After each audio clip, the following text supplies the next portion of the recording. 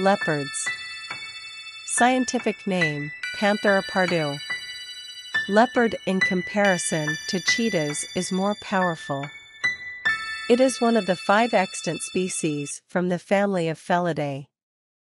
The predominantly solitary animals have large territories, with a maximum length of 6.2 feet, and can run at a speed of 58 kilometers per hour. These minimum-sized night hunters are afraid of being attacked by lions and tigers. The spots on leopards are called rosettes because their shape is similar to that of a rose. There are also black leopards, too, whose spots are hard to see because of their dark colors. Leopards have their territory, and they leave scratches on trees, urine scent marks, and poop to warn other leopards. Every cat has a different taste bud. They eat bugs, fish, antelope, monkeys, rodents, deer, or any other available prey. Leopards are skilled climbers and like to rest in the branches of trees. Also these strong beasts can carry their heavy prey up into the trees so that other animals don't bother. Female leopards can reproduce at any time of the year. Also, each time they give birth to two or three cubs, Leopards have distinct calls for every moment. To make another leopard warn of their presence, they hoarse, raspy cough. They growl when angry and purr like a domestic cat when happy.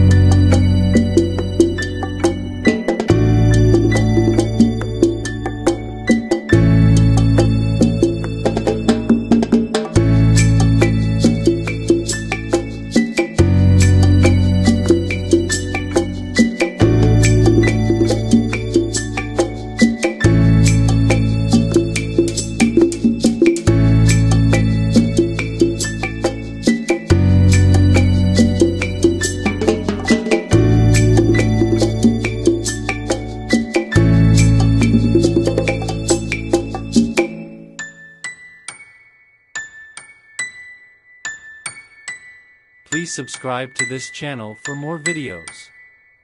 Thank you.